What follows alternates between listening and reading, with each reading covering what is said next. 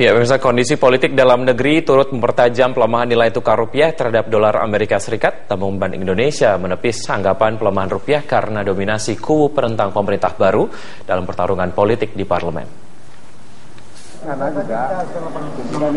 Bank Indonesia menepis sentimen negatif utama pelemahan rupiah berasal dari pemilihan ketua DPR dan MPR. Sebaliknya, otoritas bank sentral ini menyebut pelemahan nilai tukar rupiah lebih disebabkan sentimen eksternal terkait tren penguatan dolar Amerika.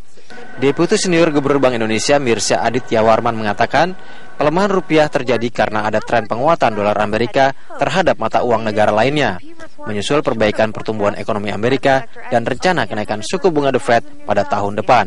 Kondisi ini membuat aset dan nilai investasi Amerika menjadi lebih menarik di mata investor.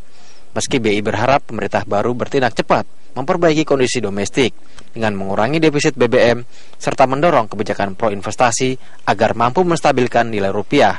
Ini ya pasti Bank Indonesia ada di pasar.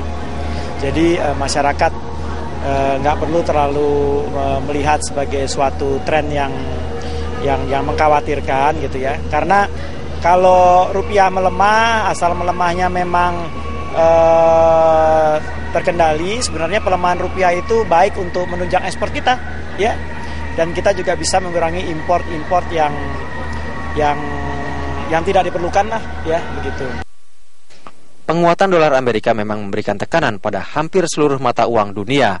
Selama September misalnya, rupiah secara rata-rata melemah 1,57 persen dari bulan sebelumnya hingga berada di atas level 12.000 per dolar. Selain kondisi politik domestik, faktor eksternal yang mempengaruhi rupiah masih sekitar normalisasi kebijakan The Fed, perlambatan ekonomi Cina, dan dinamika geopolitik global. Faktor eksternal terkait dengan normalisasi kebijakan The Fed, indikasi perlambatan ekonomi Tiongkok, dan dinamika geopolitik global. Sementara itu, faktor domestik terkait dengan perilaku investor yang menunggu pembentukan kabinet pemerintahan baru dan program kerja pemerintah ke depan termasuk kebijakan penyesuaian penyesuaian BBM bersubsidi.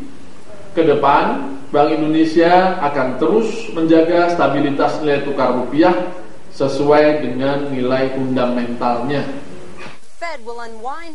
Meski ancaman pelemahan masih membayangi laju rupiah, pemerintah baru memiliki peluang untuk menstabilkan nilai tukar dengan tetap menjaga permintaan dolar Amerika dari sisi ekspor maupun impor.